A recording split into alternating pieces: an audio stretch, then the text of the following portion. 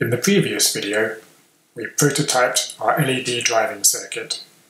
In this video, we will build out the complete schematic for our moon lamp, and in the follow-up video, we'll lay out the PCB and send it off for manufacture with JLPCB. So I've started a new project in Easy EDA and we'll start to build our schematic. I've already looked up the parts that I want to use, so let's get started. I'm going to power the moon lamp from a 5 volt USB power supply. So the first thing we'll need is a 3.3 volt regulator. We'll use the AMS 1117-33, which is a basic part on JLPCB. And we'll also need to add some capacitors to this to the input and output of the regulator. So let's add those components and wire them up.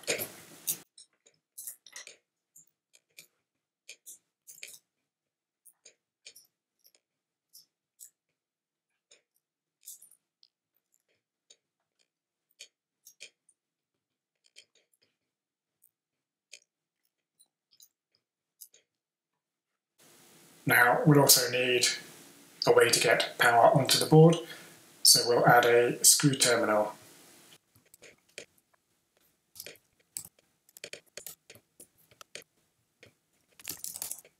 So that's our power regulator finished.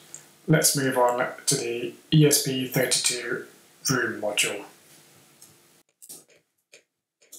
Now it's recommended to add a decoupling capacitor close to the power input to this module, so we'll add a 10 microfarad capacitor. It's also recommended to add an RC circuit to the enable pin, so the chip starts off slightly after the power has been applied. So we'll add a 12k and 100 nanofarad capacitor.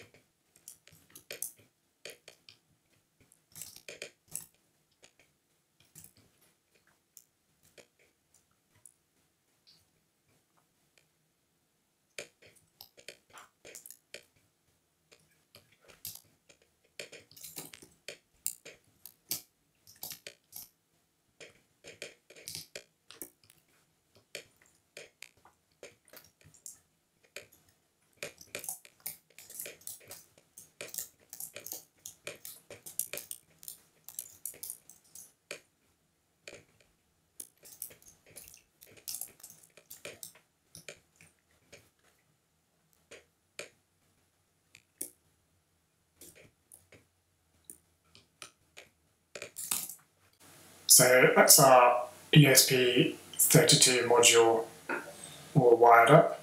Um, now for the output drivers, we're going to need a MOSFET and uh, JLPCB has a basic part that will serve our needs for this. And we'll also need a gate resistor, a pull-up resistor, and the LED resistor. So we'll have a 470 ohm gate resistor, and we'll just use a 470 ohm pull-up resistor, and for the lead resistor, we'll use a 5.1 ohm 1 watt resistor. So we'll wire that up now.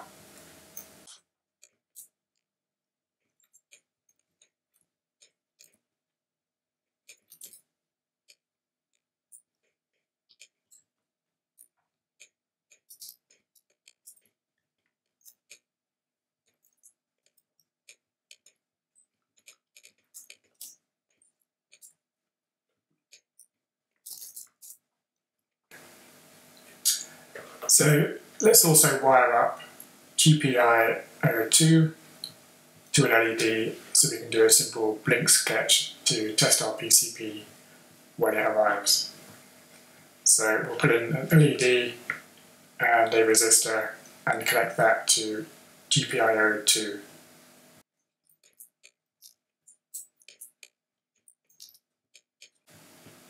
Now, it's probably also handy to have some indicators that we have power coming into the board. So we'll add a connection to the 5 volt and the 3.3 volt regulator just to show that they're working properly.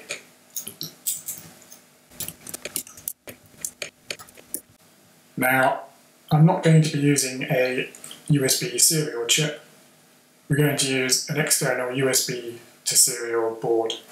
Um, Uh, now, TX and RX are both active low, and it's quite useful for debugging programming to see if they're actually doing anything.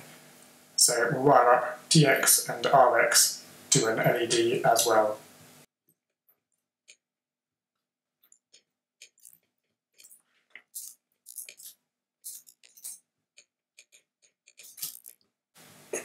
Now I'm also going to expose out as many GPIO lines as I can so that we can easily expand our board if we need to.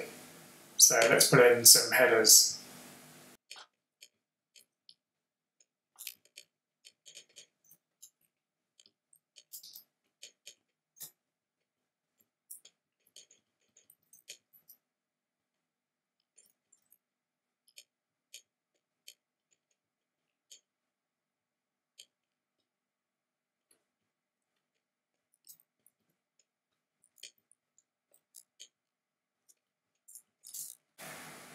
So that's our schematic all done. In the next video, we'll lay out the PCB and send it off for manufacture with JLPCB. Um, we'll probably change the ordering of these pins and these pins to make it easier to lay the board out, but it should be a fairly straightforward board. So if you like the content, please hit subscribe and like, and I'll see you in the next video.